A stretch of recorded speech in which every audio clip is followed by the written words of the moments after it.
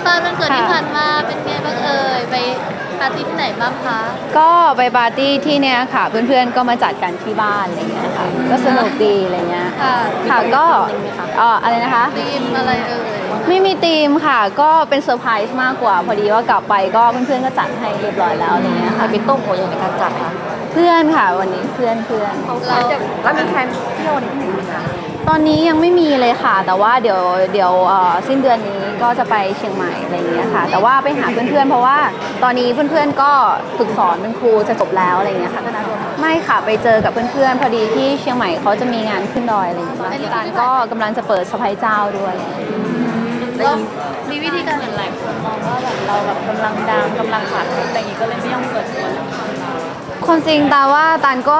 เป็นเป็นแบบแบบนี้มานานแล้วนะคะ คือหนึ่งเลยคือเราไม่อยากให้คนไปโฟกัส หรือว่าจับตามองในเรื่องของความรักของเรามากนักอะไรเงี้ยค่ะ อยากให้คนดูในเรื่องของการแสดงเรามากกว่าอะไรเงี้ยเราเคยมีได้คุยกับเพื่อนก็ก็มีคุยคุยๆนะคะตานว่ารอให้เออมันสถานะมันมั่นคงมากกว่านี้ก่อน แล้วก็ ตานอยากเปิดตัวก็คือเปิดตัวทีเดียวไปเลยอะไรเงี้ยค่ะ ไม่อยากมาแบบพอเปิดตัวไปแล้วถ้าเกิดวันหนึงมันไม่ใช่ขึ้นมาเราจะมานั่งเสียใจกันทีหลังอะไรเงี้ยเปิดตัวทีเดียวนี่คือประกาศแต่งเลยโอ้โหยังไม่ถึงขนาดนั้นค่ะยังเด็กอยู่ค่ะ เหมือนพี่หน่องเขาจับคู่เรากับเคนอีกรอบป่ะเขาไม่ได้คุยเรื่องนี้กับเรายังอ๋อ ก็อาจจะมีค่ะอาจจะมีแต่ว่าเดี๋ยวรอให้ทางผู้ใหญ่ออกมาก่อนอะไรเงี้ยค่ะสำหรับเคนกับตาลก็